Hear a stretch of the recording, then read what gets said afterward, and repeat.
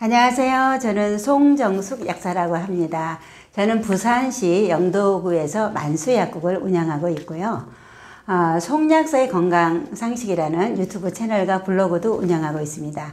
일전에 제가 책을 통증과 염증을 동시에 잡는 송약사의 영양소 요법이란 책을 썼는데요. 그 책을 읽고서 상담하는 분들이 많이 늘었습니다. 아, 최근에는 비만, 당뇨, 콩팥병, 악순환 고리를 끊다 이런 새 책을 음, 내게 되었습니다. 이러한 책들이 여러분의 건강에 굉장히 도움될 것 같으니까 기회가 되면 한번 읽어보시면 좋겠고요. 저는 단순히 약국의 지명 구매나 또 뭐 처방전에 의해서 그냥 약을 건네는 그런 약사가 아니고 그 사람의 체질을 파악해서 질병의 근본을 영양, 영양소로서 어, 이렇게 케어하고 도와주는 그런 상담 약사라고 할 수 있습니다. 만나 뵙게 돼서 정말 반갑습니다. 고령화 사회가 되고 점점 먹을 거리는 많아지는데 움직임이 적어지는 그런 시대가 되었습니다. 2022년 대한 당뇨병 학회 팩트시트 자료에 의하면 당뇨 전 단계의 사람이 1470만 명에 이르러서 거의 전 인구의 30% 정도가 당뇨 전 단계에 돌입됐다 이렇게 생각할 수 있고요.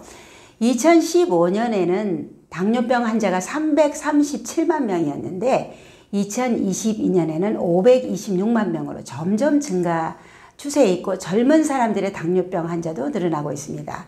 또 2022년 신장학회 팩트시트 자료에 의하면 신장 투석을 하거나 신장 이식을 한 사람도 12만 7천 명에 이르고 있습니다. 그래서 비만과 당뇨는 인슐린 저항성이라고 하는 동일한 원인에 의해서 동전의 양면과 같이 같이 생기는 경향이 있고요. 당뇨가 오래되면 콩팥병으로 이어지기 때문에 이런 악순환 고리가 계속될 수 있습니다. 그래서 저는 책을 통해서 식습관과 생활 습관을 교정해서 건강을 도와주고 필요하면 영양소 요법으로서 치료하는 그런 방법을 제시하니까 한번 읽어보시면 도움이 될 것 같습니다. 요즘에 아침 한 끼니를 채소 과일식을 먹자는 그런 것이 굉장히 열풍적으로 인기를 끌고 있습니다. 그렇지만 이것에 대한 한 가지 문제점을 저는 말씀을 드리고 싶습니다. 우리가 먹는 당은 포도당, 과당, 메가당, 젖당 여러 가지 형태의 당분이 있는데요. 이 당분이 각 장기마다 들어가는 통로가 다릅니다. 예를 들어서 혈당이 60 정도로 아주 낮아진 저혈당 상태에서는 최우선적으로 뇌로 들어갑니다. 뇌는 한순간도 포도당이 없이는 존재할 수가 없고요. 그 이하로 되게 되면 고혈당도 위험하지만 저혈당은 더 위험하게 되겠죠. 그러면 이 뇌로 들어가는 통로는요, 인슐린의 제한을 받지 않고 곧바로 글루포터 3번의 그 통로로 들어갑니다. 그래서 마치 전쟁에서 임금을 보호하듯이 뇌를 보호하는 그런 시스템이 되고요.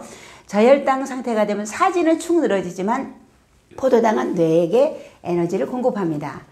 그 다음에 4번 통로가 있는데요. 그것은 인슐린의 신호를 받아서 근육과 지방에 들어가는 정상적인 가장 중요한 통로라고 할 수가 있습니다.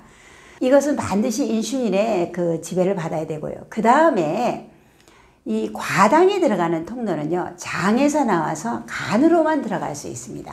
과일에 있는 당이 바로 과당이고 또 식품 첨가물에 들어가는 액상 과당이 있습니다. 이런 것들은 간으로 들어가서 다시 포도당으로 전환이 되었을 때 뇌로 들어가서 뇌를 사용할 수 있고 근육에 힘을 쓸 수가 있는 것입니다. 그래서 만약에 뇌를 많이 쓰는 학생이라든지 뇌를 많이 쓰는 직장인 또 노동으로 육체적인 그런 근육을 많이 써야 되는 사람은 채소 과일식만 한다면 과당이 다시 포도당으로 전환되는데 시간이 걸릴 뿐더러 굉장히 곤란한 점이 있다고 생각합니다. 그래서 어, 과일, 채소 좋지만 거기다가 이런 어, 뇌를 쓰는 사람, 육체적인 노동을 하는 사람은 어느 정도는 탄수화물을 먹는 것이 적합하다. 저는 그렇게 생각하고 있습니다. 포도당과 가당은 굉장히 구조식을 보면 비슷하게 생겼습니다. 그런데 다른 점은 과당은 좀 고리가 열리는 형태로 존재하고요. 포도당은 닫힌 형태로 존재합니다. 그래서 이 당분 성분하고 우리의 그 아미노산의 어느 부분하고 결합을 한 것을 당 독소라고 하는데요. 과당이 고리가 열린 채로 잘 존재하기 때문에 당 독소를 보다 더 잘 만든다고 할 수가 있습니다. 그래서 과당은 먹으면 자기도 모르게 간으로 들어가서 지방간으로 축적될 위험이 굉장히 많은데요. 그렇기 때문에 과일에 있는 당보다 더 위험한 것이 식품 첨가물에 들어가는 액상가당인데요. 요즘에 젊은 사람들은 단맛이 없으면 맛이 없다고 느끼기 때문에 전부 다 액상과당이 들어가는데 이 과당은 포도당보다 오히려 당지수가 낮습니다. 그래서 오히려 안전한 것처럼 느끼지만 은근한 우리의 모든 식품에 그러한 당분이 들어가기 때문에 이것이 비만과 당뇨 또 지방간의 원인이 되기 때문에 가능하면 집에서 만든 그런 당분이 들어가지 않는 좋은 식사를 하고 패스트푸드는 좀 줄여야 되지 않을까 그렇게 생각합니다. 우리가 밥을 먹으면 그게 탄수화물이잖아요. 탄수화물이 포도당이 되어서 우리 몸속에 에너지원이 되는 것인데요. 이렇게 밥을 먹어서 에너지 공장에 미토콘드리아에 들어가는 것을 비유를 하자면 아궁이에 불을 떼는 것으로 비유를 할 수가 있습니다. 그래서 아궁이에 장작을 패서 어, 이렇게 불을 떼려 가면은 통나무를 그대로 아궁이에 넣을 수는 없습니다. 장작을 패야 됩니다. 잘게 예, 이렇게 잘라야 되죠. 그 다음에 이 아궁이에 불을 던져 놓으면 방이 뜨뜻하게 되는 거. 이것을 우리가 밥을 먹으면 탄소수 6개의 포도당을 탄소수 2개를 자르는 거. 이것이 바로 이 장작을 패는 것이에요. 요게 세포라고 생각하면 그 과정은 이 세포질에서 일어나는 것입니다. 포도당 6개가 2개로 되어야지 이 2개가 비로소 이 아궁이 속에 들어가요. 그것을 미토콘드리아라고 할 수가 있는데요. 우리가 장작을 뗄 때 이렇게 부채질을 하면은 잘 타는 것입니다. 그게 산소죠. 그래서 이 세포질에서 일어나는 이 장작을 패는 과정은요. 산소가 필요하잖아요. 무산소 대사. 여기서는 두 개의 ATP만 만들어지고 미토콘드리아 안에서는 30개 내지 32개의 에너지가 ATP가 만들어져서 그 에너지를 가지고 우리가 활동을 하고요. 그래서 산소를 들이마시고 어, 이 포도당을 섭취하면은 나중에는 에너지가 발생하고 나중에 이산화탄소가 호흡을 통해서 나오고 또 물이 나오는데 소변이나 땀으로 배출되면 끝나는 것입니다. 그런데요, 우리가 흰쌀밥을 굉장히 좋아합니다. 왜냐하면 부드럽고 맛있기 때문이죠. 그런데 흰쌀 속에는 거의 탄수화물만 들어있다고 볼 수 있어요. 그래서 이 쌀눈이라든지 이 현미의 껍질 속에는 섬유질도 많이 들어있지만 비타민 B1이 들어있는데요. 이 세포질에서 일어나는 두 개의 ATP를 맡는, 만드는 과정에서는 반드시 비타민 B1, 티아민이 필요한데 그 티아민이 바로 쌀 눈 속에 들어있다는 거죠. 그러니까 신께서 쌀을 만들 때는 이미 이것을 에너지 대사되도록 다 설계를 해서 만들었는데 인간은 부드럽게 먹기 위해서 쌀눈을 깎아버리고 백미만 먹으니까 티아민이 부족해서 그러면 이 과정에서는 젖산이 생기는 것이거든요.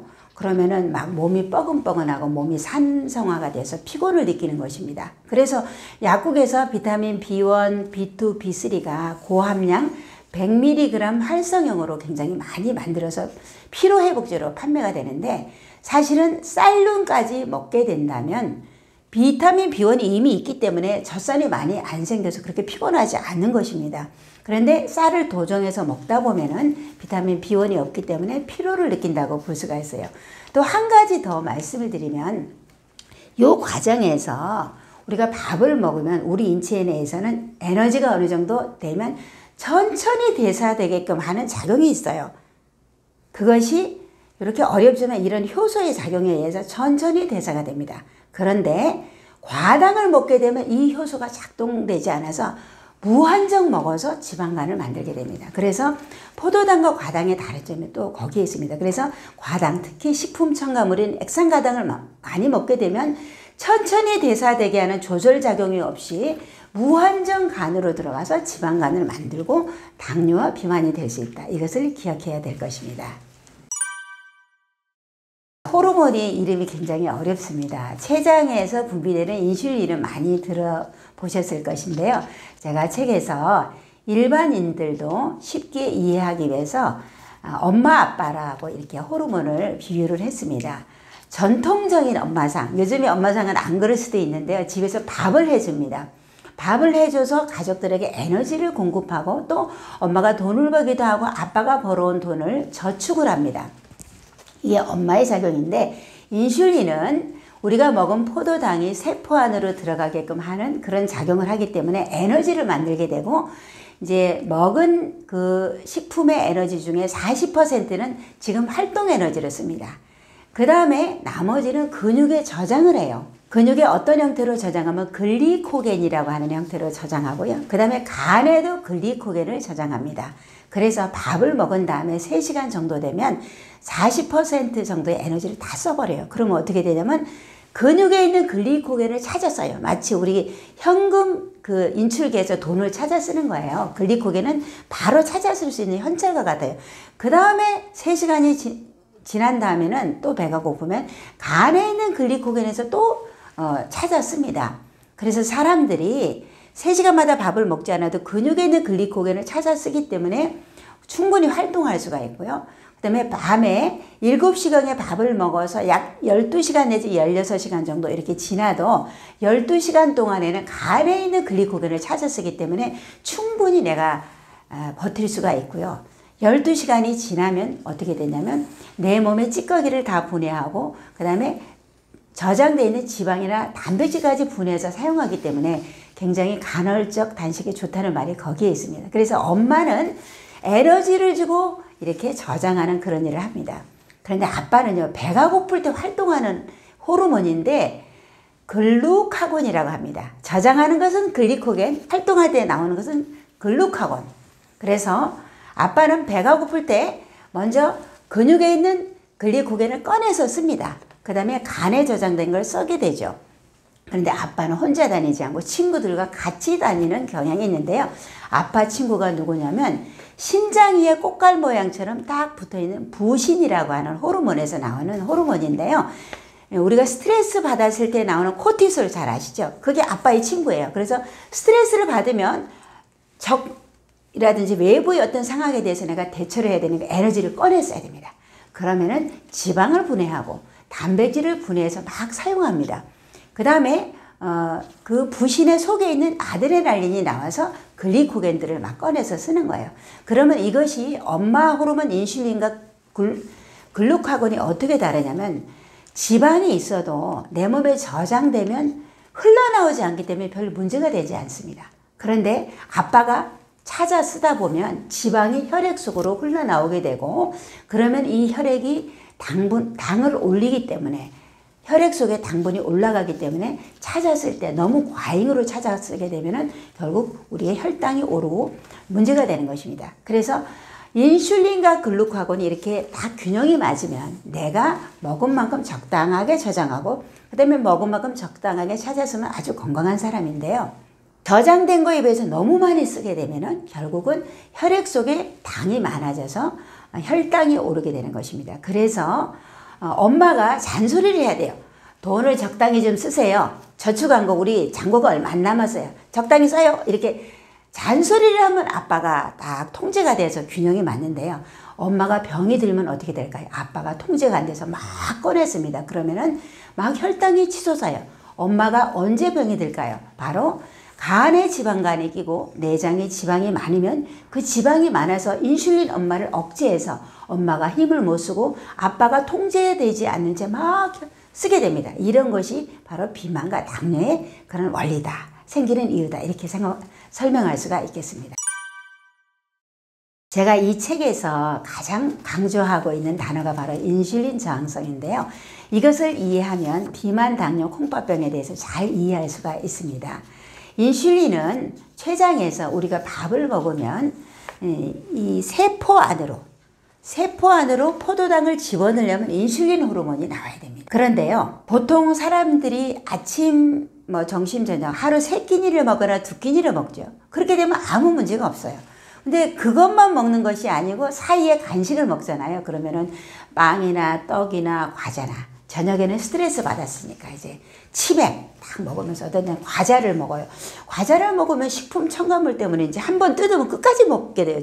저도 이상하게 그렇더라고요. 과자를 탈탈 털 때까지 다 먹어요. 그러면서 TV 보면서 이제 스트레스를 풀어요.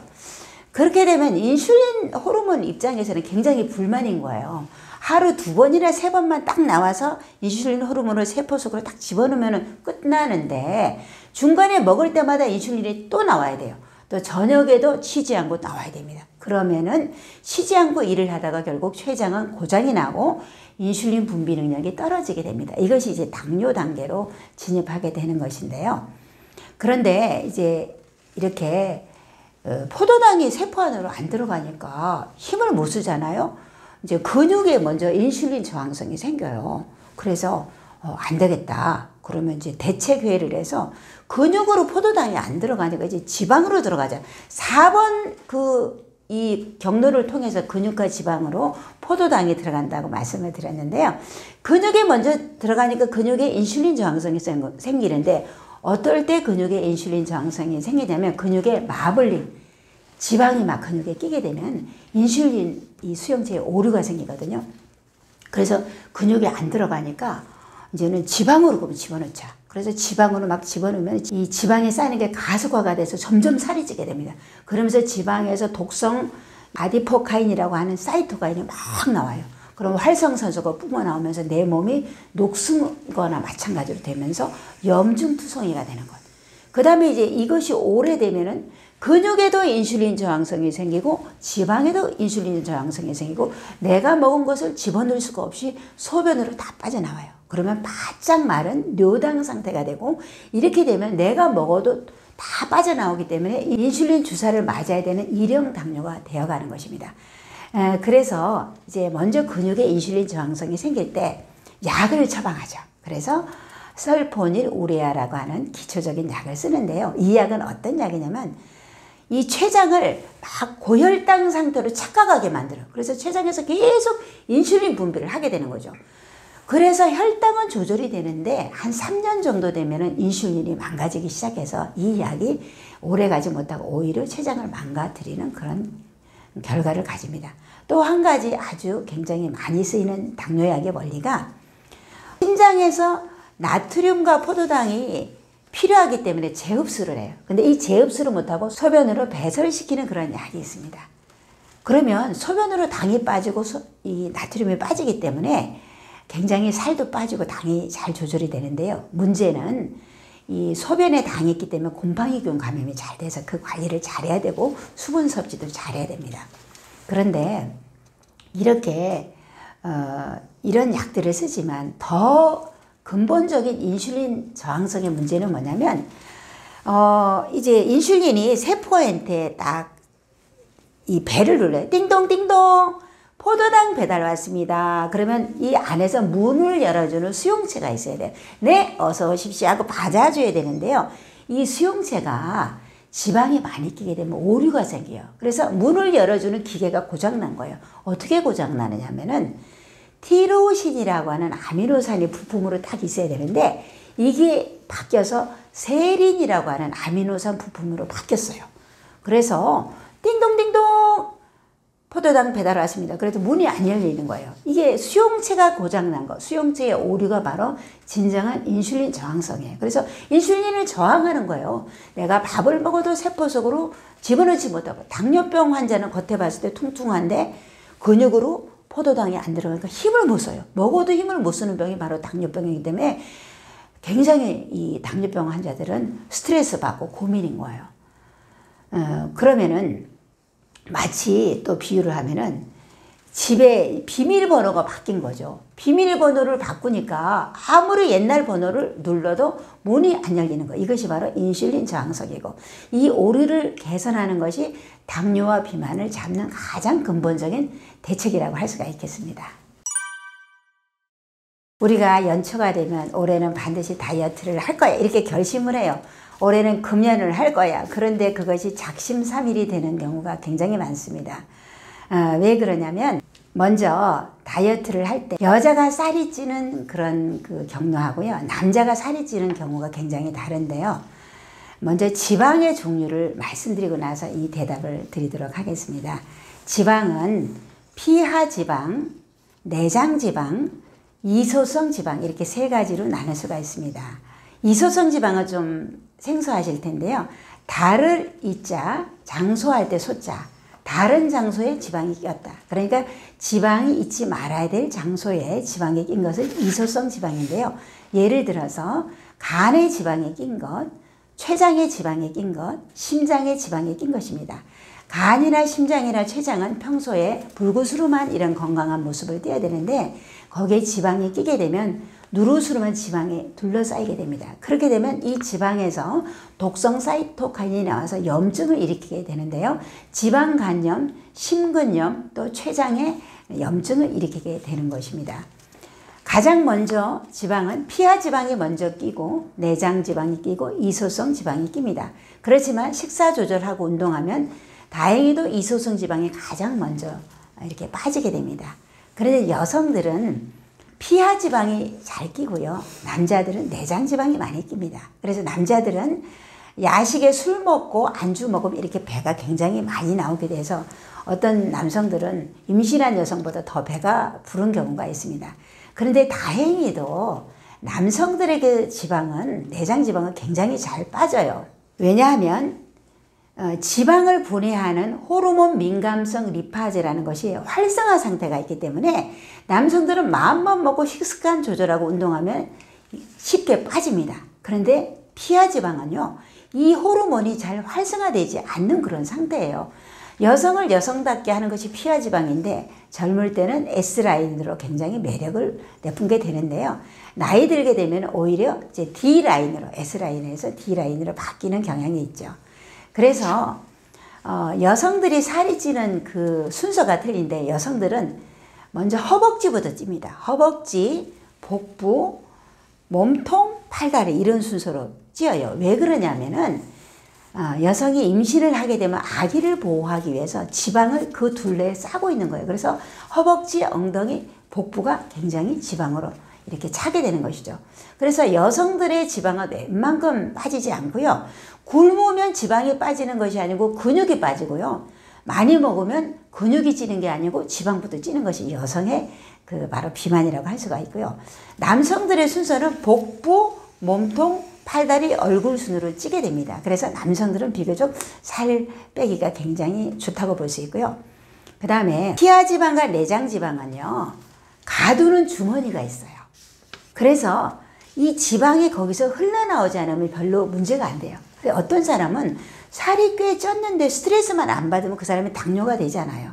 그런데 스트레스가 이제 스트레스를 받으면 코티솔 호르몬 때문에 이것이 흘러나오니까 지방이 흘러나와서 당뇨로 가는 것인데 이 피하 지방과 내장 지방은 그 안에 있는 자체는 별로 위험하지 않다. 그런데 이소선 지방은 어떠냐면 그것을 보관하는 주머니가 없습니다. 그냥 지방이 간에 끼게 되면 세포질 속에 지방이 둥둥둥둥 떠다니는 거예요. 떠다니면서 이것이 막 사이토칸을 내뿜기 때문에 굉장히 위험한 상태가 됩니다. 그러면 심장에 지방이 끼게 되면 심근염을 일으키게 되고요. 간에 지방이 끼게 되면 지방 간염을 일으키게 되는데 10년 된 지방간 또 20년 된 지방간도 식사 습관을 바꾸고 이렇게 운동하면은 정상간으로 돌아올 수가 있다 그래요. 그래서 간은 제가 책에서 뭐라고 비유했냐면 무던한 만며느리다. 굉장히 이기는 힘이 강하고 어, 좀 세다. 이렇게 표현했는데요. 췌장은 다릅니다. 췌장은요. 3년 내지 5년만 췌장에 이소성 지방이 끼게 되면 굉장히 타격을 받아서 췌장에 문제를 일으키고요. 특히나 한국인을 비롯한 동양 사람은요, 서양인에 비해서 췌장의 사이즈가 적고 지방을 가두는 능력이 더 적습니다. 그래서 보다 더 당뇨병에 취약한 면이 있기 때문에 정말 체중 관리, 식이 관리 굉장히 잘해야 될 것 같습니다. 요즘에 사람들이 사망할 때 30%가 암으로 사망하기 때문에 암이란 단어가 나오던 책이나 유튜브가 굉장히 인기가 있는 것 같은데요. 아, 그 위에서 암을 유발하는 요인이 여러 가지가 있지만 저는 이 책에서 인슐린 저항성이 암을 유발하는 그런 어, 요소가 된다 이런 것을 말씀을 드리고 싶습니다. 이 세포 안에 이 세포질에서는 탄소수 6개의 포도당이 탄소수 2개가 될 때까지 이렇게 장작을 패듯이 이 탄소수를 줄이는 이 과정이 이걸 해당 과정, 당을 분해한다 이런 과정인데요. 이 해당 과정에서는 두 개의 ATP가 만들어지고 미토콘드리아에서는 30개 내지 32개의 ATP가 만들어지는 것입니다. 그런데요, 인슐린 저항성이 생기게 되면 여기 미토콘드리아로 들어가는 그 경로가 많이 차단됩니다. 근육에도 인슐린 저항성, 지방에도 인슐린 저항성. 그러니까 내가 먹은 포도당이 정상적으로 산소를 많이 필요로 하는 이 경로가 활성화되지 않고 대신에 젖살이 만들어지는 두 개의 ATP가 되는 이 경로가 굉장히 활성화되는데요. 여기를 바로 암세포가 좋아하는 것입니다. 그래서 암세포는 다른 세포에 비해서 수십 배의 포도당의 흡수 능력이 있어요. 그래서 옆에 있는 세포가 굶어 죽건 말건 다 빨아들여요. 그래서 자기의 이 덩치를 키우고요. 다른 세포에 있는 핵산, 지방, 아미노산을 전부 다 자기의 에너지원으로 다 써버리게 됩니다. 그러면서 이것이 무산소 대사로 되기 때문에 평소에 산소를 잘 들이마실 필요가 있어요. 암세포는 산소를 싫어하는 세포이기 때문에 그래서 심호흡을 하고 이렇게 깊게 내쉬우는 그런 연습을 하면 좋고요. 이 암이 깊어갈수록 헐떡헐떡 하는 까닭이 암세포가 산소를 싫어하기 때문입니다. 거기다가 이 암세포가 좋아하는 이 경로는 젖살이 많이 생기기 때문에 몸이 젖살이 많아져서 굉장히 산성화가 되고 몸은 점점 나빠지게 되는 것입니다. 그래서 인슐린 저항성의 끝판왕이 바로 암이 생기는 것이다. 이렇게 말을 할 수가 있겠습니다. 네, 여러 가지 뭐 붉은 육류를 먹지 말아라. 튀김이나 굽거나 이런 기름 종류를 조심해라. 또 여러 가지 암 환자가 먹지 말아야 될 환경 독소라든지 많이 있는데요. 제가 한 가지 말씀드리는 것은 유청 단백질을 너무 많이 먹으면 안 된다. 이것을 한번 말씀드리고 싶습니다. 요즘에 출산하는 아이들은 적어지고 고령 인구가 많다 보니까 우유 유제품을 만드는 사람이 그 타겟을 아이들에게 맞추는 것이 아니고 고령층에 타겟을 해서 유청 단백질을 노년들의 근력을 키우는데 먹도록 굉장히 광고도 많이 하고 실제로 분말 타입이나 쉐이크를 해서 유청 단백질을 많이 드시고 계십니다. 아, 그런데 우유에 그 속에 들어있는 단백질 중에서 분지 아미노산인 BCAA가 우유에 굉장히 많이 들어있습니다. 이 BCAA는 간으로 직접 대사되지 않고 근육으로 바로 대사되기 때문에 헬스하는 분들도 BCAA 그 아미노산을 굉장히 많이 챙겨 먹고 있습니다. 그런데 사람의 아이는 태어난 지 10달 내지 12달 정도 되어야지 겨우 걸음만을 하게 됩니다. 그런데 송아지는 태어난 지 일주일 만에 걸어 다니고 뛰어다닙니다. 왜 그러냐면 우유 속에 BCAA가 많이 들어있기 때문에 근육을 발달시켜요. 왜 그렇게 만들어졌을까 생각하면 맹수가 쫓아오면 송아지는 누워있으면 안 되니까 빨리 움직이도록 그렇게 만들어진 것 같습니다. 그래서 우유 속에 우유의 유청 단백질 속에 BCAA가 많이 들어 있습니다. 그런데 이 유, 우유의 이 BCAA는 엠토르라고 하는 효소를 활성화시킨다고 어, 말을 하고 있습니다. 이 엠토르라는 것은 이렇게 근육을 만들고 동화 호르몬, 우리의 에너지를 만드는데요. 부정적인 요소로서는 암세포를 발현시키는 그런 작용이 있습니다. 반대 작용에 하는 효소는 AMPK인데요. 이 AMPK는 오히려 항암 작용이 있습니다. 항암 작용을 활성화시켜주고 우리 몸에 있는 어떤 그 나쁜 노폐물을 이렇게 분해시켜서 어, 유산소 운동, 달리기 같은 유산소 운동을 하면 AMPK가 활성화되고요. 근력 운동을 하게 되면 mTOR가 활성화되는데 mTOR의 부정적인 요소가 암세포도 큰다는 것입니다. 그래서 우유는 IGF-1이라고 하는 성장인자도 암세포를 이렇게 활성화시키고 분지 아미노산도 mTOR을 활성화해서 암세포가 클 수 있기 때문에 어르신들 근력 운동을 해서 아, 유청 단백질 드시되 너무 많이 먹으면 안 된다는 것. 그것을 기억하셨으면 좋겠습니다. 요즘에 소식하자 또 간헐적 단식하자 이런 그 내용의 그 강연도 굉장히 많이 하는 것 같습니다. 아, 소식하면 확실히 장수하는데 왜 그럴까요? 이것을 유전자적으로 생각하면 우리의 유전자 중에 텔로미어라는 것이 있다는 거 여러분 많이 들어보셨을 건데요. 텔로미어를 비유하자면 운동화 끈으로 비유할 수가 있습니다. 운동화 끈에 매듭이 있으면 그 실이 이렇게 풀어지지 않는데요. 만약에 끈에 매듭이 없으면 실이 막 풀어지듯이 텔로미어가 길면 장수하는 것이고 그것이 풀어지면 결국 어, 얼마 가지 못하고 그 유전자가 파괴되고 빨리 죽게 되겠죠. 그래서 텔로미어가 길어야 되는데요. 만약에 우리 몸에 지방이 끼게 되면 이 지방이 활성산소를 내뿜으면서 미토콘드리아를 망가뜨리게 되고 미토콘드리아는 사람마다 세포 안의 개수가 굉장히 다른데요. 예를 들어서 병약화해서 누워 지내는 사람의 미토콘드리아가 세포 안에 약 1000개가 있다면 운동하고 움직이는 사람은 3000개 내지 만 개가 있을 수 있습니다. 이것은 물건을 만드는 공장으로 비유한다면 영세한 중소 간의 공급 에서 만드는 물건의 질과 양과 대기업 어떤 그 생산 라인에서 만들어지는 물건의 질의 양은 현격한 차이가 있듯이 사람의 미토콘드리아도 이렇게 다른데요. 이 비만하게 되면 결국 활성, 활성산소가 많이 만들어져서 미토콘드리아가 망가지고 에너지 대사가 안 되고 결국은 AMPK도 활성화되지 않아서 어, 결국 수명도 낮아진다는 것입니다. 그래서 배가 고플 때 꼬르륵 소리가 나게 되면 그 꼬르륵 소리와 더불어서 위장 안에 있는 노폐물도 같이 배설되기 때문에 굉장히 좋고요. 거기다가 우리가 만약에 양껏 먹잖아요. 그러면 소화 효소가 전부 다 위장으로 몰리게 됩니다. 그러면 소화 효소가 부족하게 되면 우리 몸을 대사시킬 대사 효소까지 소화 효소로 바꿔서 소화를 시키게 됩니다. 그럼 내 몸의 대사 효소가 적어지게 되면 그 사람의 수명은 효소가 많은 만큼 오래 산다고 합니다. 과식하게 되면 결국 수명, 수명이 짧아질 수밖에 없고 이렇게 소식하고 간헐적 단식하게 되면 어, 수명이 길어지는 것이 자명하다고 볼 수가 있겠습니다.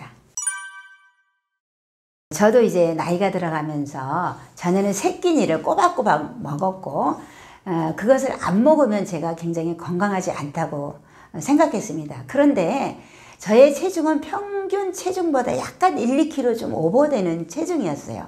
그런데 제가 이제 나이 먹다 보니까 소화 효소도 좀 적게 나오는 것 같아서 무엇인가 그 새끼니를 다 먹으면 부담스럽고 아침에도 활동하기 위해서 밥을 딱 먹고 가면은 운전할 때 졸리고 소화가 안 되는 것이었어요. 그래서 제가 밥의 양을 좀 줄였더니 굉장히 졸리지도 않고 또 저녁을 제가 아, 아침 점심은 밥을 먹고요. 저녁에는 밥을 먹지 않고요. 이 아주 얇은 만두를 갖다가 김치하고 그렇게 먹습니다. 동치미 국물하고도 먹고요. 그렇게 되더니 자연적으로 살이 빠지면서 사람들이 좀 젊어진 것 같은 그런 말을 많이 합니다. 그래서 50이 넘어갔을 때 새끼니를 다 먹는 것보다는 한 끼니 정도는 뭐 고구마를 먹는다든지 고구마도 찐 고구마는 당 지수가 높다 그러죠. 아, 생 고구마를 먹는다든지 야채 과일이라든지 이런 식으로 다른 탄수화물이 아닌 것으로 대체하면은 그 소식의 원리가 되고 장수하는 데 도움이 된다고 생각합니다. 우리나라는 어, 쌀을 주식으로 하고 있고 동남아도 마찬가지입니다. 그런데 북유럽 쪽에서는 밀을 주식으로 하고 있는데요. 왜 그러냐면 북유럽에는 겨울철이 우기이고요. 어, 그 다음에 일조량이 부족하기 때문에 벼를 농사 지을 수가 없어서 밀을 주식으로 하고 있습니다. 쌀은 까기가 좋기 때문에 예, 밥을 해서 먹고요. 밀은 까기가 어렵기 때문에 가루로 만들어서 빵을 만들거나 국수 정도 만들어서 이렇게 먹고 있습니다. 밀가루 안에도 아미노산이 있는데요. 글리아딘과 글루테닌이라고 하는 단백질이 있습니다. 이 밀에다가 물을 넣고 반죽을 하면은 이제 이렇게 쫄깃하게 이 수타를 많이 할수록 쫄깃 한 면발이 되기 때문에 굉장히 그것을 선호하게 되죠.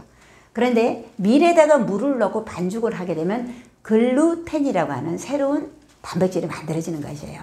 그러면 글루텐이 쫄깃하고 맛있지만 나이가 들어갈수록 소화 효소가 적어지게 되고 그것을 소화하지 못하는 사람 일부 중에 글루텐을 먹었을 때 조눌린이라고 하는 것이 발현된다고 합니다. 그러면 이 조눌린이 발현되면 어떻게 되냐면 장에 누수를 일으키게 됩니다. 장벽이 이렇게 촘촘해서 장내에 있는 어떤 물질이 혈관 속으로 들어가면 안 되는데요. 장벽이 느슨해진 것을 장누수라고 하는데요. 장이 누수가 일어나게 되면 미처 소화되지 못한 단백질 찌꺼기, 식품 첨가물, 또 여러 가지 뭐 세균들, 바이러스가 전부 다 이 혈액 속으로 들어가기 때문에 밀가루 음식을 많이 먹게 되면 장누수가 되어서 아토피 알러지 이런 면역 질환의 원인이 되고 항상 가스가 차고 장이 안 좋게 됩니다. 그래서 밀가루 음식을 먹으면 장이 안 좋은 경우가 굉장히 많지요. 거기다가 장이 안 좋은 사람은 고포도맵 음식을 절제하라 이런 말을 많이 들었을 것입니다. 밀가루도 고포도맵 음식인데요. 밀가루는 올리고당이 들어있기 때문에 장내 가스를 많이 만드는 고포도맵 음식 재료에 해당이 됩니다. 그래서 밀가루를 먹으면 어, 이 장이 나쁠 뿐더러 가루 상태로 먹으면 빨리 흡수가 되기 때문에 당 지수가 높습니다. 그러면 당 지수가 높은 음식을 먹게 되면 어떻게 되냐면 이 일반 당 지수가 낮은 음식을 천천히 먹게 되면 천천히 당이 올라오기 때문에 결코 당뇨가 되지 않는데요. 빨리 먹게 되면 너무나 빨리 흡수가 돼서 어, 글리코겐으로 저장할 새가 없이 바로 혈당이 올라갑니다. 그럼 어떻게 되냐면 혈당이 확 치솟았는데 3시간이 되면 글리코겐으로 저장한 것이 없으니까 또 배가 고픕니다. 그럼 또 먹어야 돼요. 그렇게 해서 악순환되고 밀가루 음식을 먹게 되면 장도 나빠지지만 비만과 당뇨의 원인이 되는 것입니다. 약국에 있다 보면 다이어트 처방약이 나오는 경우가 있습니다. 그런데 아주 비만인 사람이 이 처방을 가져오는 것이 아니고 겉에 봤을 때는 상당히 날씬한 젊은 여성들이 다이어트 처방약을 그냥 가져오는 편입니다. 이 다이어트 처방약의 원리를 설명하자면 먼저 이 다이어트 약은 교감신경을 흥분하는 그런 원리를 가지고 만들었는데요. 교감신경은 우리가 스트레스를 받았을 때 흥분되는데요. 교감신경이 흥분되게 되면 혈관이 수축되면서 아주 긴장 상태가 되기 때문에 잠이 안 오고 대신에 부교감신경은 억제가 되기 때문에 소화가 안 되고 소변 대변이 안 나오는 이런 상태가 됩니다. 그래서 교감신경이 흥분되면 잠이 안 오고 밥이 밥맛이 없겠죠. 이런 원리로 감기약인 슈도 에페드린이 나옵니다. 그래서 이것이 처방이 나오는데요. 슈도 에페드린을 먹으면 어, 콧물이 줄줄 나오는 것은 부교감 신경이 활성화된 상태예요. 막 뭐든지 소화액이 나오고 소변 대변이 나오는 것은 부교감 신경이 활성화되고 안 나오는 건 교감 신경이 활성화된 거예요. 그 부교감 신경이 막 활성화돼서 콧물이 나오고 재채기가 나오던 것을 슈더 에피드린을 먹으면 교감 신경이 활성화돼서 딱 혈관에 숙지되면서 콧물이 안 나오는 거예요. 그래서 이런 코감기약으로 쓰이는데 어떤 사람은 밤에 잠을 못 잤다 하는 사람이 있습니다. 왜냐하면 잠도 안 잘 수가 있기 때문이죠. 그런데 이 슈도 에페드린을 몇 단계만 간단하게 바꾸면 메스 암페타민 바로 필로폰이 만들어집니다.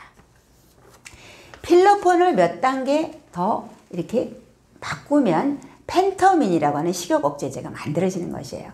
그래서 식욕 억제제 처방은 향정신성 의약품으로서 처방을 하고 우리 약국에서는 그 개수를 다 정확하게 세야 되고 기록을 해야 되는 거죠. 이렇게 기록한다는 것은 오남용 되기 쉽고 습관성이 되기 때문에 많이 먹지 말아라는 뜻에서 그렇게 관리를 하는 것인데요. 어, 바로 어, 이 식욕 억제제가 마약하고 사촌지간이다 이렇게 생각할 수가 있어요. 그러면 이 약을 먹으면 엄청 다이어트가 잘 됩니다. 밥맛 없고 잠이 안 오는데 어떻게 살이 안 빠질 수가 있겠어요. 그럼 이것을 먹은 젊은 여성들이 여성들은 혼자 안 다녀. 친구들하고 같이 다니는데 학교 다닐 때도 꼭 화장실도 친구하고 같이 다니고 밥도 친구하고 같이 먹는데 다이어트 약도 친구하고 같이 다녀요. 그래서 야 이거 먹으니까 살 진짜 잘 빠져. 너도 한번 먹어봐. 그래서 의사분에게 또 데려가서 같이 먹습니다. 그런데 이런 이 강한 이런 다이어트 약은요 고도 비만 환자가 어, 단기간으로 먹어야 됨에도 불구하고 이 약을 끊지 못해요. 왜냐하면 끊으면 다시 살찔까봐. 그래서 몇 년을 계속해서 먹습니다. 그러면 어떻게 됩니까? 살은 빠질지 몰라도 피부가 엄청 안 좋아지고 우울증까지 걸리고 빼게 되면 요요 현상으로 엄청 폭식해서 더 많이 찌게 됩니다. 그래서 이런 다이어트 약은 가능하면 먹지 않고 우리의 그 건강은 정직하고 다이어트도 사실은 정직해서 식습관과 생활습관이 필요합니다. 한 가지 더 말씀을 드리면요. 한방 다이어트 굉장히 좋은 것 같죠. 이것에도 함정이 있는데 제가 말씀드릴게요. 한방 다이어트의 핵심이 뭐냐면 바로 마황이라는 거예요. 마황은 기침약으로 쓰이는데요. 이렇게 대롱같이 생긴 한방약인데 이 마황의 성분이 바로 에페드린이에요. 그러니까 슈도 에페드린과 같은 거예요. 교감신경을 흥분해서 역시 마찬가지로 잠 안 오게 하고 식욕 억제제 하는 역할이 있는데 마황을 많이 쓰게 되면 역시 살이 빠지게 되니까 이런 나의 다이어트 약에 뭐가 들어간지 살펴봐야 되고요. 한 가지 더 한방 다이어트가 많이 쓰이는 게 방풍통성산이라고 하는 처방이 있는데요. 이것은 알약으로 만들어져서 약국에도 일반 의약품으로 판매가 되기도 합니다. 그런데 이 약은 원래 고혈압과 중풍약으로 나온 한방 처방인데요. 열이 많고 실증 체질에 복부 비만이 심한 사람이 먹는 약인데 이런 약을 허증인 사람이 먹으면 오히려 굉장히 예, 부작용이 있을 수 있고요. 어, 한방의 그 다이어트 약이 어떤 안 좋은 수분을 내보내고 내장에 노폐물을 내보내는 것은 건강에 좋다고 생각하지만 과다하게 먹으면 역시 건강에도 안 좋을 수 있으니까 잘 생각해서 먹을 필요가 있다고 생각합니다. 우리가 굽고 찌고 삶고 이렇게 했을 때 매실 액기스가 좋다 그래서 막 이렇게 음식 속에 많이 들어가죠. 또 김치 볶음밥을 할 때도 신맛이 나는 이 신김치의 맛을 이렇게 완화시키기 위해서 설탕을 넣고 볶잖아요. 그러면 이 당분이 가열되는 과정에 끈적끈적한 당 독소가 생길 수가 있습니다. 외부에서 만들어진 이런 당화된 거 말고요. 내 몸속에도 당분이 들어가면 이것이 아미노산의 아민기와 결합을 해서 당 독소를 만드는데요. 이 당독소는 이렇게 붙었다 떨어졌다 할 수도 있지만 아주 작은 당독소인 글리옥살, 메틸 글리옥살은 온몸을 돌아다니면서 한 번 붙으면 결코 떨어지지 않고 나중에 최종 당화산물인 AGES를 만들게 됩니다. 그래서 AG, 나이가 들을수록 AGS가 많이 만들어진다 이런 말을 하고 있습니다. 그러면 이 당독소는요, 이 아미노산과 결합을 하는데요. 혈액도 아미노산이 있습니다.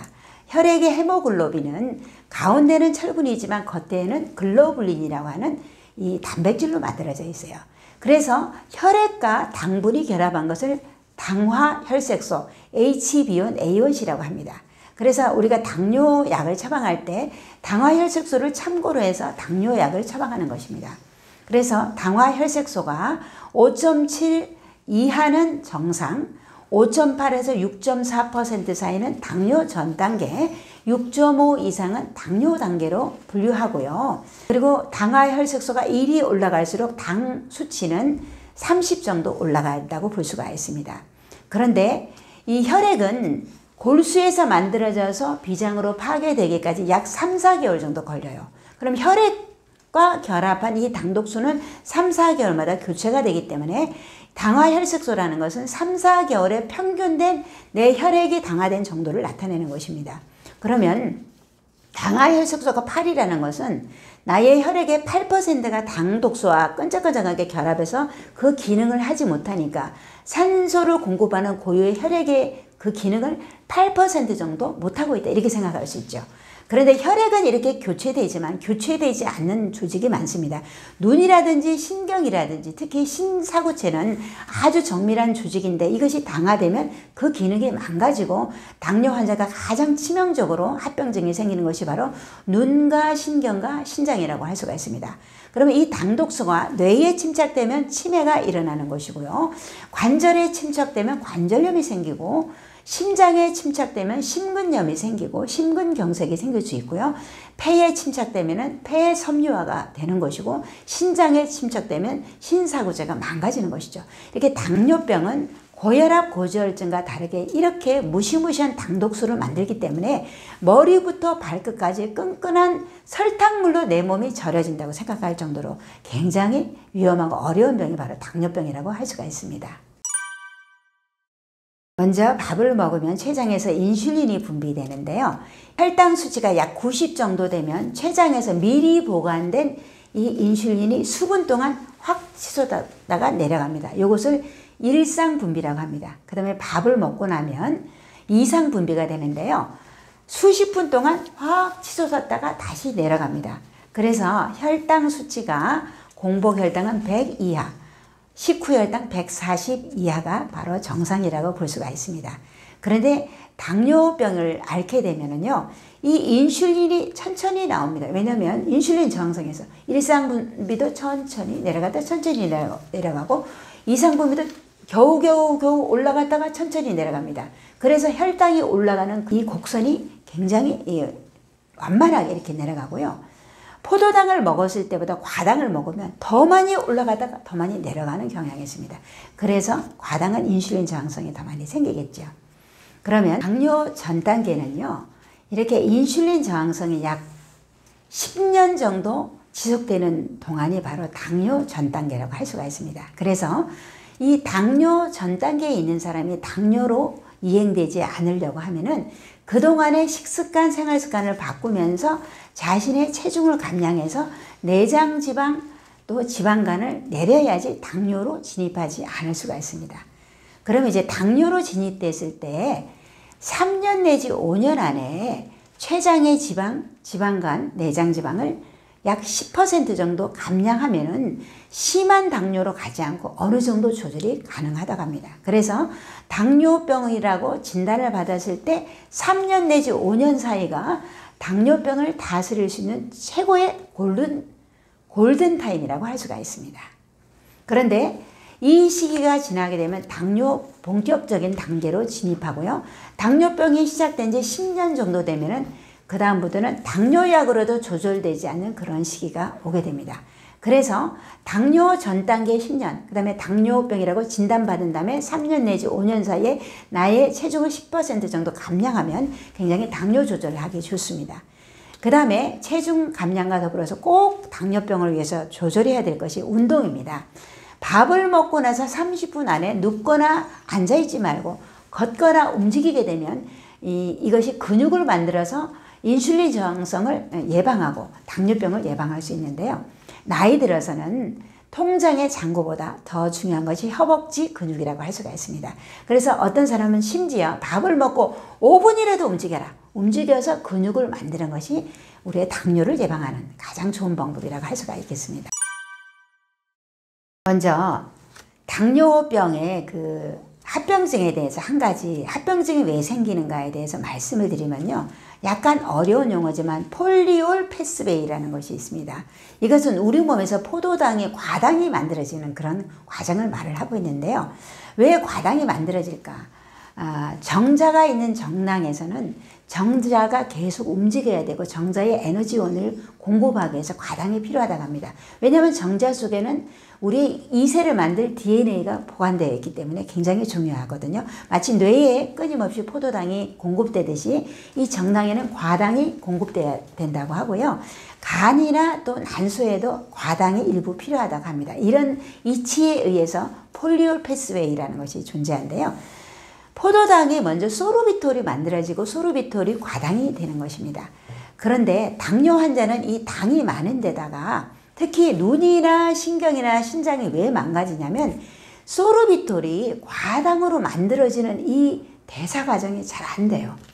눈, 신경, 신장에서는. 그러면 소르비톨은 삼, 삼투압 현상에 의해서 수분을 빨아들이는 경향이 있어요. 그럼 수분을 빨아들이면 세포가 팽창해서 터집니다.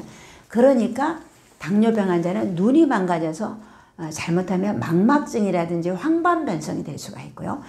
당뇨병성 신경증이 될 수가 있고 신사후체가 망가져서 잘못하면 투석하는 것이에요.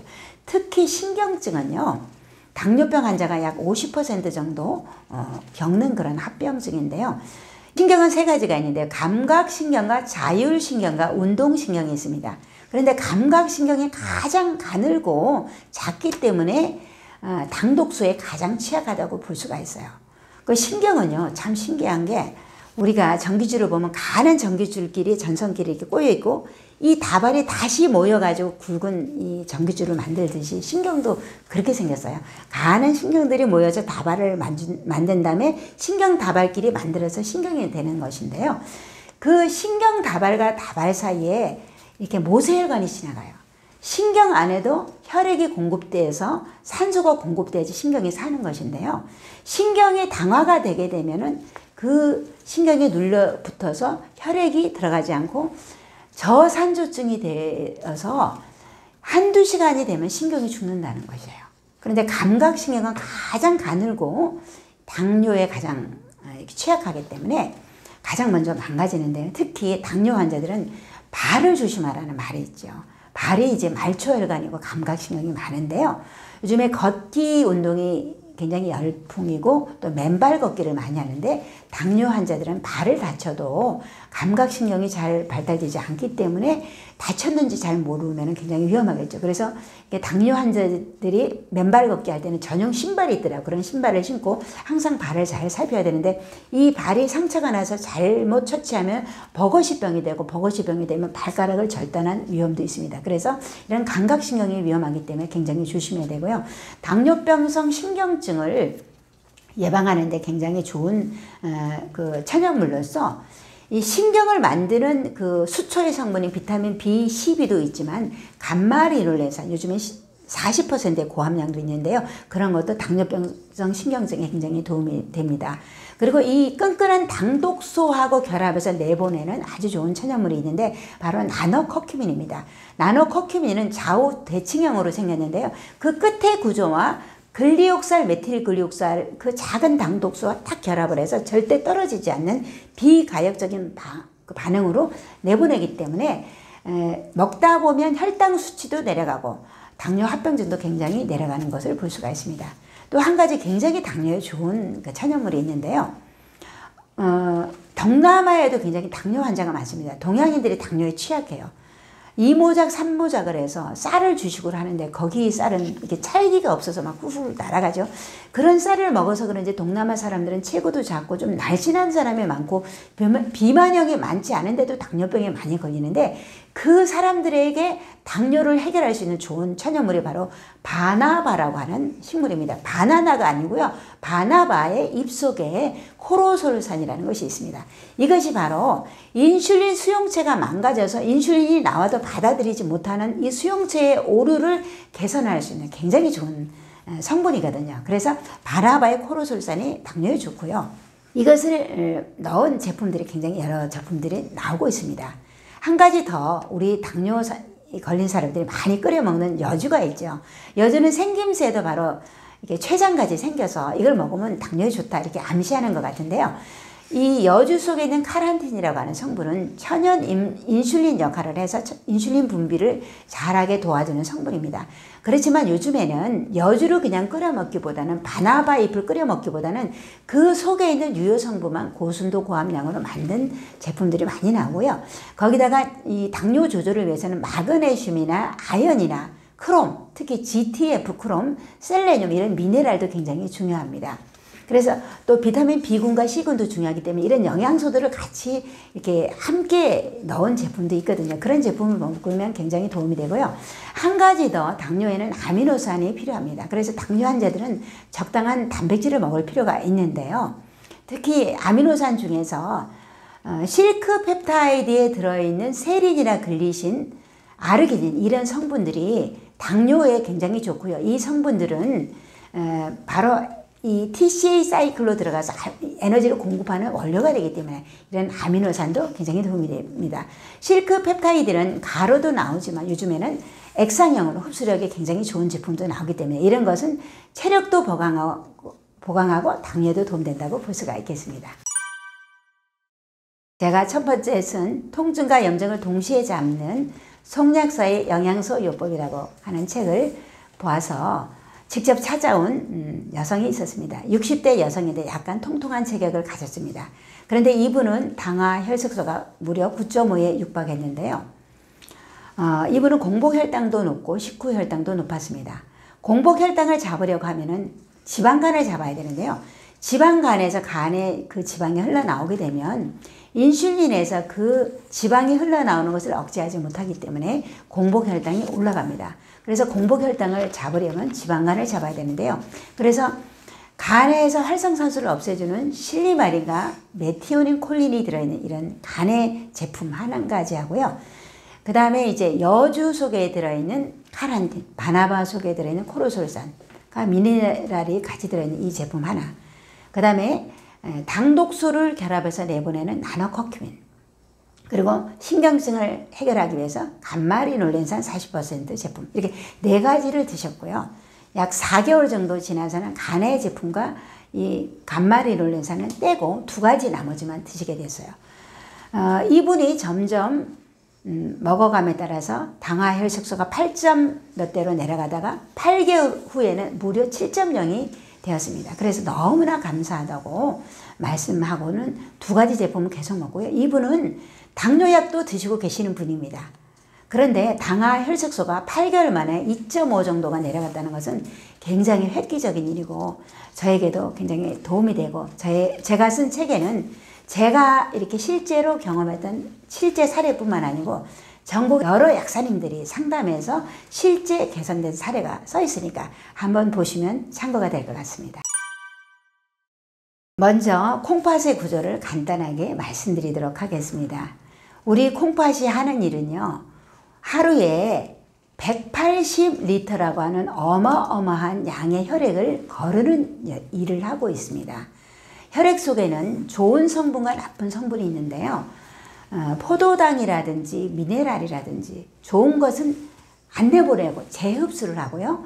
요소라든지 나쁜 노폐물을 내보냅니다. 그래서 콩팥은 삼중에 빗장 수비를 해요. 채 하나가 있고 또 채가 있고 또 다른 채가 있고 그래서 아주 쫌쫌하게 물질을 거르는데요. 좋은 것은 재흡수하고 나쁜 것은 내보내고 이렇게 혈액을 깨끗하게 걸러야지 우리가 생명을 유지할 수가 있는 것입니다.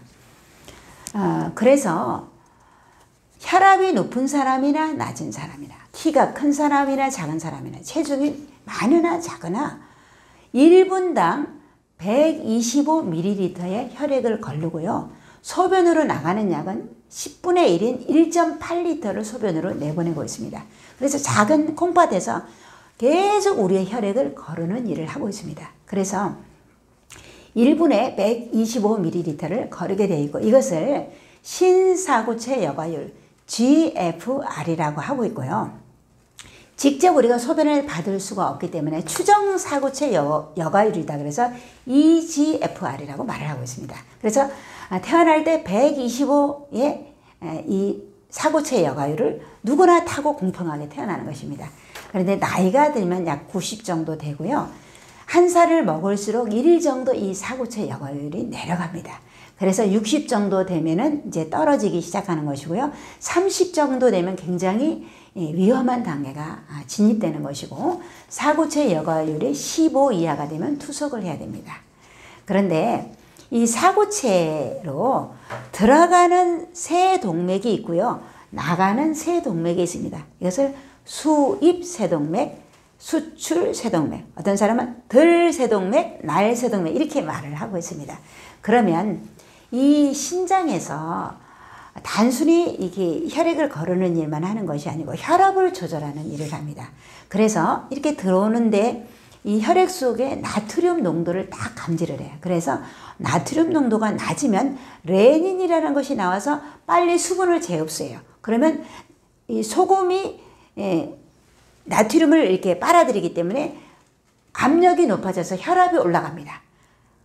그리고 이제 혈압이 너무 높잖아요. 그럼 들어오는 세동맥을 딱 조여요. 조여서 어, 천천히 들어가야 합니다. 만약에 이 사고체는요 아주 가른 모세혈관이기 때문에 세게 들어오면 다 터져서 망가지죠. 그래서 이렇게 어, 조였다 이렇게 풀었다 마치 우리가 수도꼭지를 잠가 틀었다, 틀었다 하듯이 이렇게 이 들어오는 세동맥에서 이거를 조이면서 늘리면서 들어오는 압력을 조절해요. 그런데 이제 혈압이 막 계속 높았다. 그러면은 이 센 혈압을 조절하기 위해서 이 여기서 계속 조이잖아요. 이 너무 조이게 되면 이 세동맥의 혈관이 두꺼워져요. 압력을 받아서. 그래서 혈압이 높아도 이 신장이 망가질 수 있다. 이렇게 생각할 수 있고요. 그다음에 당뇨병이 되면 끈끈한 당독소가 혈액 속에 계속 남아 있잖아요. 그러면 이 사고체가 당화되니까 어떻게 됩니까? 나가는 이 세동맥이 좁아지게 되겠죠. 그러면은 마치 우리가 하수도에서 이제 하수도가 막히게 되면 물이 잘 안 내려가고 쫄쫄쫄 내려가듯이 나가는 곳이 막히게 되면 잘 안 내려가죠. 그러면 어떻게 됩니까? 들어오는 물은 많은데 잘 안 나가면 빵빵한 물풍선처럼 되겠죠. 그렇게 되면은 사고체와 사고체 사이에 완충 역할하는 게 메산지움이라는 게 있어요. 메산지움이 쿠션처럼 딱 보호하고 있거든요. 메산지움 사이에도 모세혈관이 다 지나고 있어요. 우리 모든 조직에는 혈관이 들어가서 혈액 공급을 해서 산소 공급합니다.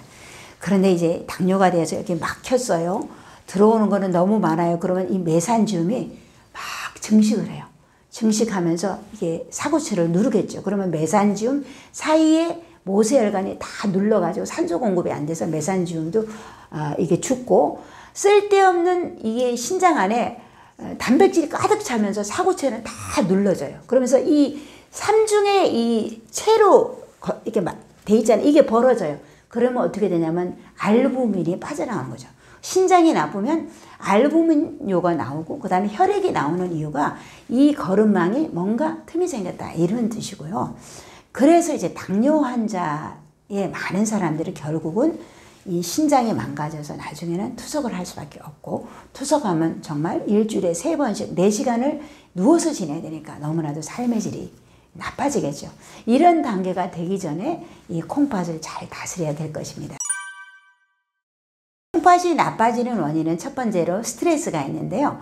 스트레스를 받게 되면 교감신경이 활성화되면서 모든 혈관이 수축됩니다. 그러면 들어가는 세동맥과 나가는 생목이 같이 수축해요. 그렇게 되면 콩팥이 나빠집니다. 콩팥, 이 스트레스를 받은 모든 것이 나빠지고 또 암세포도 발현된다 그러죠.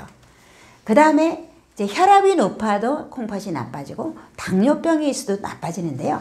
한 가지 원인이 고단백 식사라고 할 수가 있습니다. 탄수화물과 지방은요. 탄소, 수소, 산소로 되어 있습니다. 그런데 단백질에는 질소가 한 가지 더 있습니다. 그래서 이 단백질을 먹으면 어, 암모니아가 만들어지고요. 암모니아를 간에서 걸러서 요소를 만들게 됩니다. 이 요소를 콩팥에서 걸러서 내보내게 되는 것입니다. 그런데 지나치게 단백질 식사를 하게 되면 질소가 많아지고 간과 신장에 부담을 주기 때문에 콩팥 기능이 약한 사람은 단백질을 너무 지나치게 먹는 것은 부담을 주는 요소가 됩니다. 한 가지 더 콩팥에 나쁜 영향을 미치는 것은 소염 진통제인데요. 스테로이드제가 아닌데도 소염 진통제를 먹고서 나는 왜 붓는가 이렇게 물어보는 분들이 꽤 있습니다. 이 소염 진통제는 좋은 프로스타글란디를 억제하는 결과가 되기 때문에 들어가는 세동맥을 조이는 그런 작용이 있습니다. 그래서 콩팥의 기능이 나쁘기 때문에 내가 소염 진통제를 먹고 붓는다 하는 사람은 양을 줄여서 너무 장기적으로 먹지 않을 필요가 있습니다. 그런 분들은 보다 더 신장이 빨리 망가질 가능성이 있는 것입니다. 그래서 이러한 어, 콩팥이 나빠지는 여러 가지 요인이 있다고 볼 수가 있습니다. 콩팥의 기능이 어느 정도 나빠지게 되면 사실은 건강식품을 먹기가 굉장히 어려워집니다. 의사 선생님들이 절대 처방하는 것 외에 먹지 말아라 말을 하거든요.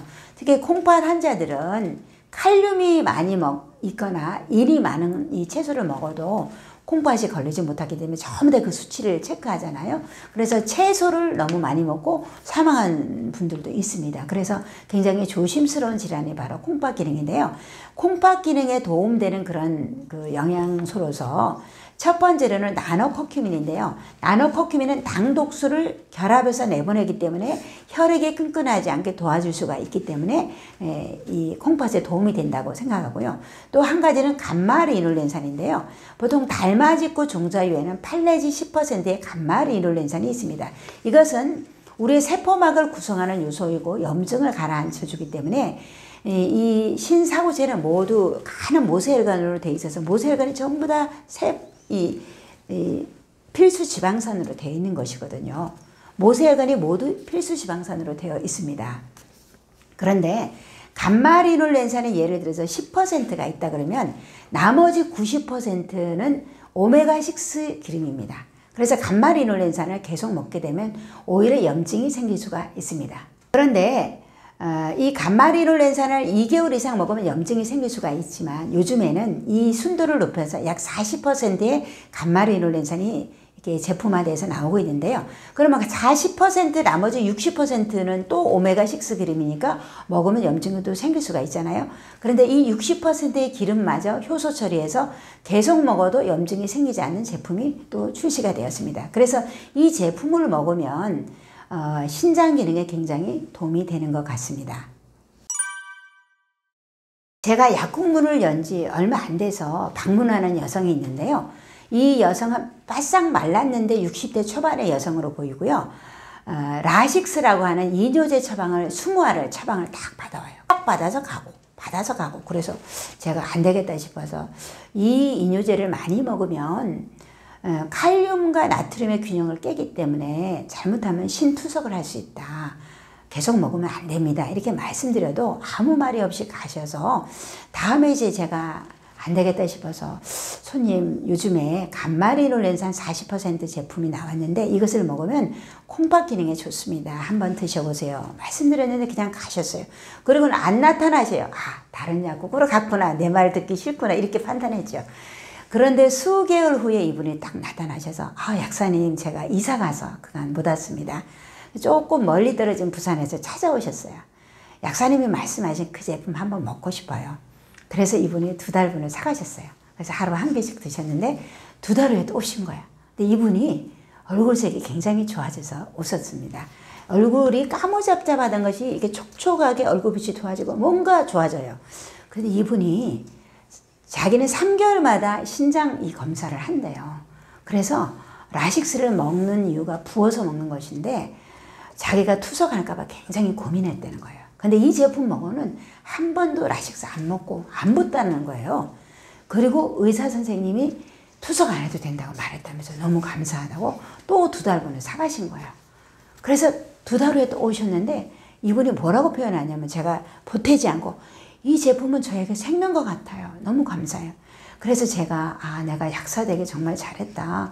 한 사람이 만약에 저의 상담을 해서 투석 안 하게 된다면 얼마나 감사한 일인가 이런 경우가 있었어요. 그래서 사람마다 같은 제품을 먹어도 다 반응이 다르고 다 이렇지는 않을 것입니다. 그렇지만 이 제품이 굉장히 아 콩팥 기능을 좋게 하는구나 이런 그 경험을 확실하게 해, 하게 되었습니다.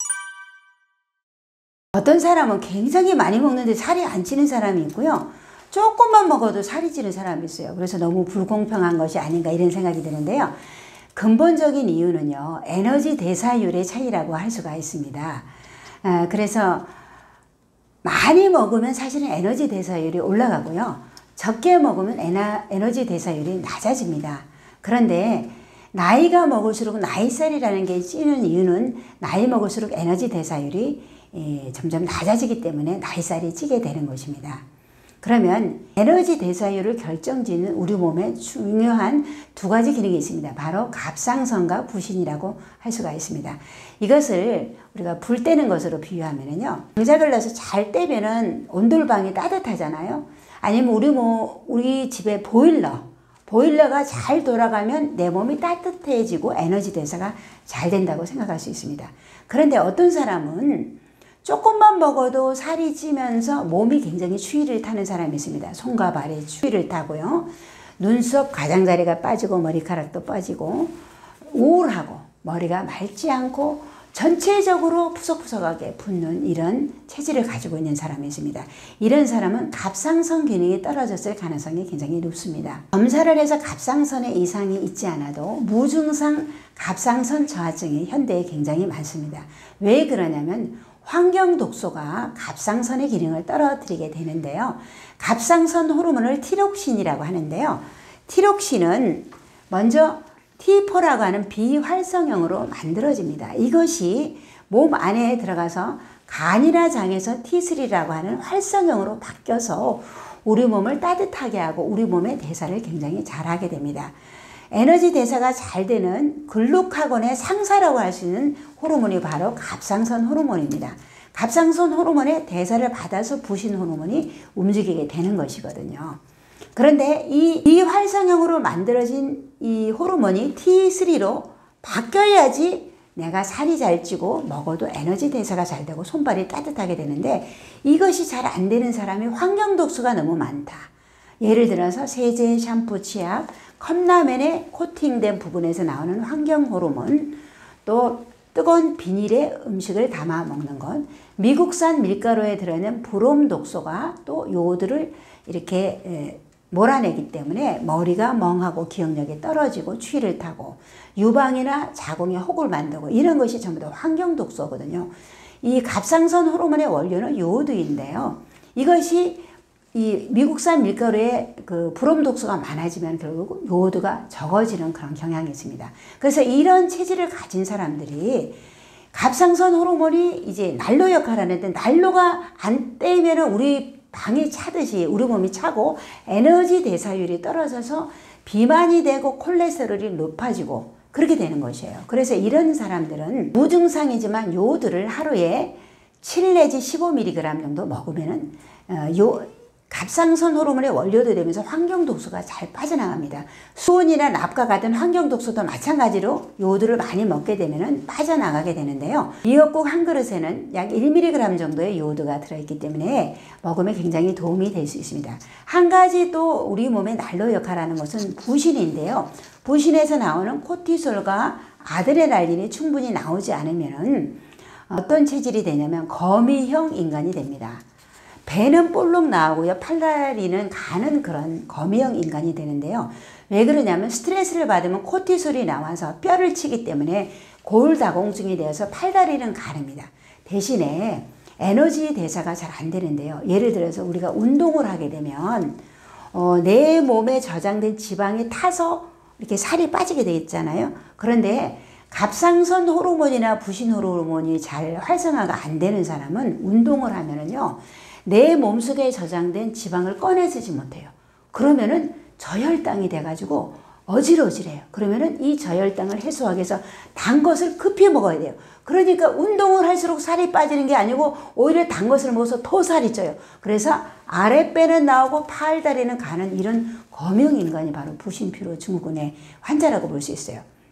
이런 사람들은 몸속에서 지방을 꺼내 쓰는 호르몬 민감성 리파제가 활성화되지 않기 때문에 적게 먹어도 살이 찌는 것입니다. 그래서 이런 분들은 운동을 해도 잘 살이 안 빠지고 식이 조절도 어렵기 때문에 환경 독소를 몰아내는 요들을 먹는다든지 부신 기능이 떨어진 사람들은 스트레스를 가라앉혀주는 홍경천이나 또 녹차 속의 태아닌 또 밤낮의 리듬을 돌려주는 시계꽃 추출물이 들어있는 이런 성분도 있고요. 또 어, 부신에 고갈된 그것을 채워주는 영양 성분으로서 비타민 B5, 판토텐산이 고함량 들어 있으면서 옥타코사놀이나 마카가 들어있는 이런 성분들은 부신에 고갈된 호르몬을 채워주는 성분으로서 부신 영양소를 먹게 되면 에너지 대사율이 높아져서 운동을 하면 살이 빠지게 된다는 것이죠. 이것을 기억하시기 바랍니다. 지금까지 저의 이야기를 들어주셔서 감사하고요. 현대인의 식습관이 단 음식을 좋아하고 또 운동하지 않는 그런 습관 또 식품 첨가물이 너무나도 많이 들어가는 그런 시대에 살고 있습니다. 그래서 어, 가능하면 어, 간편한 패스트 푸드보다는 집에서 슬로우 푸드 그래도 한 두 끼니는 챙겨 먹고 또 꼭 운동하시고 여러분의 비만과 당뇨를 잡아서 콩팥병까지 이르지 않았으면 좋겠습니다. 책도 한번 사서 보시고요. 정말 건강해지시기를 바라겠습니다. 대단히 감사합니다.